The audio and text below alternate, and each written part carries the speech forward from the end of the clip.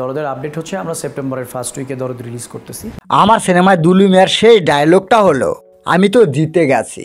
বিশ দিন চোদ্দই ফেব্রুয়ারি রিলিজ করার কথা ছিল তার দশ দিন পরেই রমজানও ছিল। কে কি বলল মানে মানুষ তো বলবেই। দরদের টিজার দেখছিলাম এখন সাকিব খান?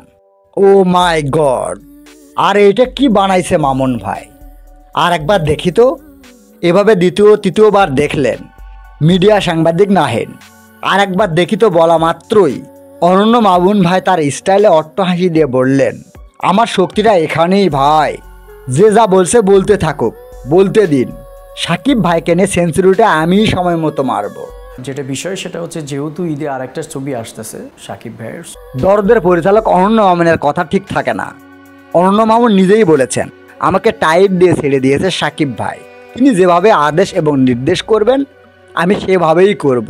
তাতে আমাদের সিনেমার হাইপটা আরও দ্বিগুণ বেড়ে যাবে। সিনেমাটি প্রসঙ্গে নির্মাতা অনন্য মামুন সময় সংবাদকে জানিয়েছেন, চলতি বছরের সেপ্টেম্বরের প্রথম সপ্তাহে মুক্তি পাবে দরদ।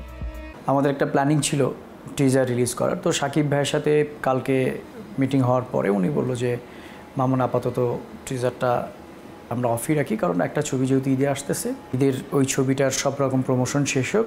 এমন হতে পারে যে আমরা টিজারটা হয়তো বা ঈদের দিন থেকে হলে চালাতে পারি, সেটা হতে পারে। এটা সাকিব ভাই হয়তো একটা কথা আমাদেরকে জানাবে।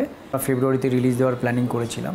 তো আসলে বিষয়টা পাঁচটা ল্যাঙ্গুয়েজ যেহেতু ছিল, ওটার জন্য আমরা রেডি করতে পারিনি। এটাও যেমন একটা কারণ ছিল। তো যেহেতু এখন মোটামুটি এটা কনফার্ম হয়েছে আমরা যে আমরা কবে রিলিজ করতেছি, এখন স্টেপ বাই স্টেপ প্রত্যেকটা কন্টেন্ট আসবে। অনন্য মামুনকে আমরা সবাই ভুল বুঝি। হয়তো না জেনেই ভুল বুঝি।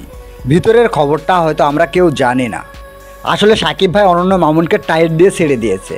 ছবির প্রমোশন কখন হবে ট্রেইলার প্রোমো কখন রিলিজ হবে সেটা সাকিব খানের নির্দেশেই হবে।